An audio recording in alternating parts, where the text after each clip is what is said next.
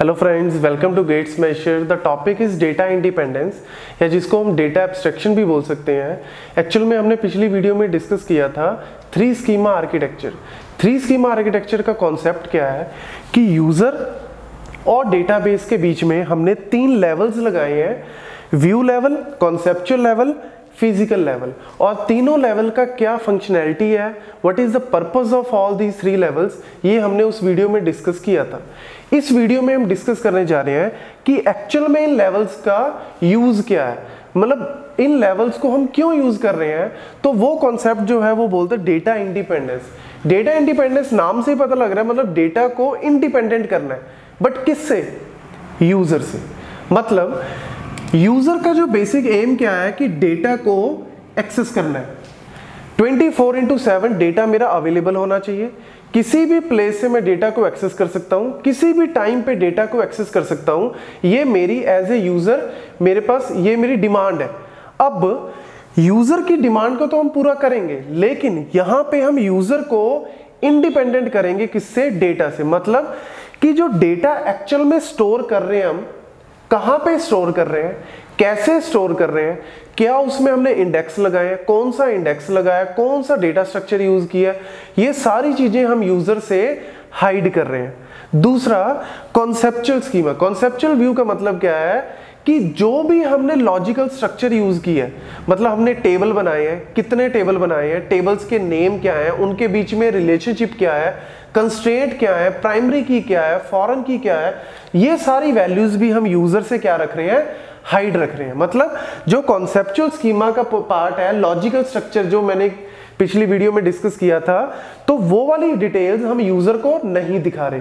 और ऐसे ही physical schema में कि how the data is actually stored वो भी हम यूज़र से हाइड कर रहे हैं। तो क्यों हाइड कर रहे हैं? कॉन्सेप्ट ये है कि यूज़र एक्चुअल में डेटा को कैसे एक्सेस करता है? किसी एप्लीकेशन प्रोग्राम से। मतलब कोई इंटरफेस है, कोई एक वेब एप्लीकेशन है या कोई मोबाइल ऐप है जिसके थ्रू वो डेटा को एक्सेस कर रहा है। जब यूज़र डेटा को एक्सेस कर रहा है तो यूज़र को हमने ये सारी चीज़ें नहीं दिखानी। तो इस वजह से हमें यहाँ पे एक्चुअल में कॉन्सेप्ट क्या है? यहाँ पे हमने दो टाइप की डेटा इंडिपेंडेंस को यूज़ किया है। Logical data independence physical data independence logical data independence का कॉन्सेप्ट क्या है? कि अगर मैं कॉन्सेप्चुअल लेवल पे मतलब कॉन्सेप्चुअल लेवल पे क्या होता है कि कौन सा टेबल यूज़ कर रहे हैं, कितने टेबल्स हैं, उनके अंदर एट्रीब्यूट्स कितने हैं। लेट से कि एक टेबल है स्टूडेंट और स्टूडेंट टेबल में मेरे पास नेम का कॉलम है, एज का कॉलम है। तो यूज़र को हमने क्या दिखा रखा है? Name and age. अब एक user let's say user one. User one उसमें एक नया कॉलम ऐड कर रहा है लेट से मोबाइल नंबर।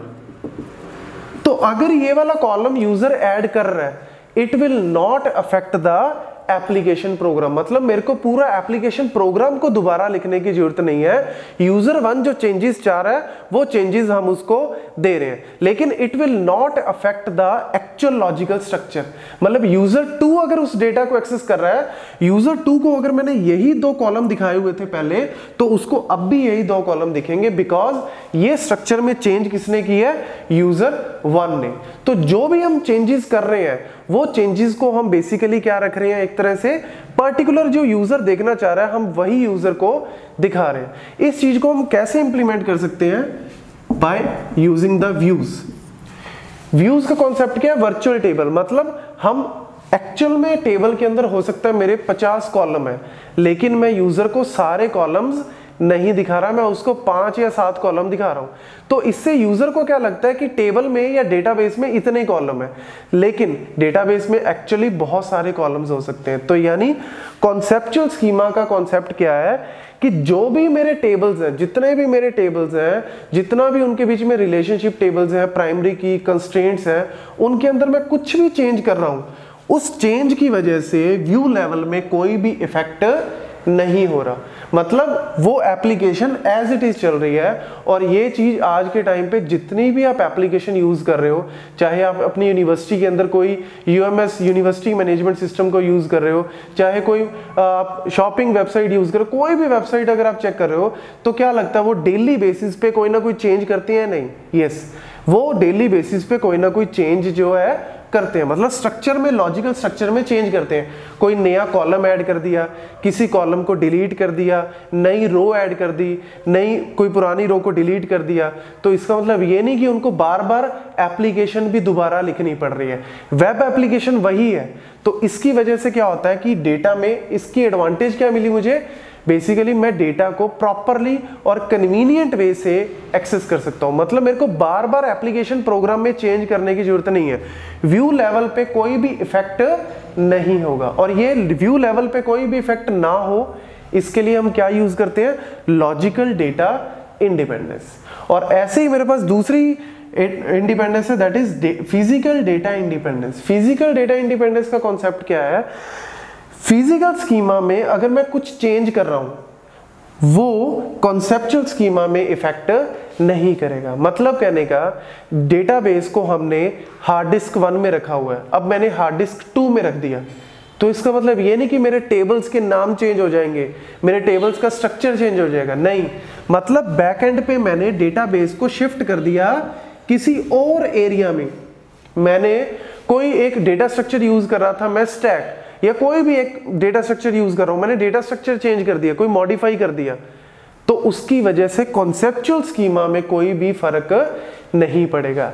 मतलब ये अलग अलग जो है, हम फंक्शनैलिटी जो है यूज़ कर सकते हैं, चाहे मैं स्टोरेज स्ट्रक्चर को चेंज कर रहा हूँ स्टोरेज स्ट्रक्चर को अगर मैं चेंज कर रहा हूँ, या फिर मैं कोई डेटा स्ट्रक्चर को चेंज कर रहा हूँ मॉडिफाई कर रहा हूँ, या फिर मैं इंडेक्सेस क्योंकि डेटा को हम जब सेव करते हैं स्टोरेज जब हम करते हैं तो स्टोरेज मैनेजर की रिस्पॉन्सिबिलिटी क्या होती है कि डेटा को प्रॉपरली सेव करना। मतलब डेटा को हार्ड डिस्क में प्रॉपरली सेव करना।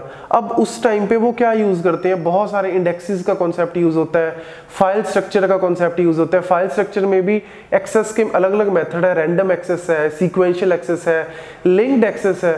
तो उन सारी वैल्यूज़ को अगर मैं कुछ चेंज कर रहा हूँ तो वो चेंज कॉन्सेप्चुअल स्कीमा में कोई भी इफ़ेक्ट नहीं करेगा। तो ये है एक्चुअल में डेटा इंडिपेंडेंस मतलब जब, जो भी आज के टाइम पे हम एप्लीकेशन यूज़ कर रहे हैं, जितनी भी एप्लीकेशन हम यूज़ कर रहे हैं वेब एप्लीकेशन अगर मैं उनको यूज़ कर रहा हूँ डेली बेसिस पे, आपको कभी फील ही नहीं होगा कि उन्होंने कॉन्सेप्चुअल स्कीमा या फ़िज़िकल स्कीमा में चेंज किया या नहीं किया। बिकॉज़ एप्लीकेशन प्रोग्राम वही है। एप्लीकेशन प्रोग्राम में कोई भी चेंज नहीं कर रहे। ऐसे ही अगर मैं फ़िज़िकल स्कीमा में एक और चीज़ हम देखें गूगल पर अगर हम गूगल की बात करें तो उनके पास इतना ह्यूज अमाउंट में स्टोरेज है। क्या लगता है वो डेटा को जहाँ पे आज से 10 साल पड़ा था, वहीं पे पड़ा है डेटा नहीं। उन्होंने बहुत सारी जगह चेंज की होगी, बहुत सारे डेटा को शिफ्ट किया होगा, उसमें बहुत सारे चेंजेस किए होंगे। और ऐसी अगर स्ट्रक्चर की बात करूँ, मैं कॉन्सेप्चुअल अगर वो ऑब्जेक्ट ओरिएंटेड डेटाबेस को यूज़ कर रहे हैं तो उन्होंने ऑब्जेक्ट्स के नेम टेबल के नेम्स टेबल का स्ट्रक्चर चेंज किया होगा। लेकिन इसका मतलब ये नहीं है कि व्यू लेवल पे वो चेंज होगा। मतलब जो भी हम चेंजेस कर रहे हैं फ़िज़िकल स्कीमा में, वो चेंजेस मेरे कॉन्सेप्चुअल स्कीमा को इफ़ेक्ट नहीं करेंगे। और जो भी कॉन्सेप्चुअल स्कीमा में चेंजेस कर रहे हैं, वो व्यू लेवल पे कोई भी इफ़ेक्ट नहीं करेंगे। मतलब मेरा व्यू लेवल जो है, वो प्रिवेंट रहेगा। कैसे? लॉजिकल डेटा इंडिपेंडेंस की वजह से। और मेरा फ़िज़िकल स्कीमा में अगर मैं चेंज कर रहा हूँ तो कॉन्सेप्चुअल स्कीमा में कोई भी फ़र्क नहीं पड़ेगा, वो प्रिवेंट रहेगा। कैसे? फ़िज़िकल डेटा इंडिपेंडेंस की वजह से। तो मतलब ये मेरे को एक तरह से कन्वीनियंस प्रोवाइड कर रहा है डेटा को एक्सेस करने में, और डेली बेसिस पे डेटा को हमें चेंज करना पड़ता है एफिशिएंसी लाने के लिए, ताकि फास्ट एक्सेस हो। हो सकता है आज के टाइम पे मेरे पास ऐसा डेटा है जिसमें सीक्वेंशियल सर्च अच्छा है।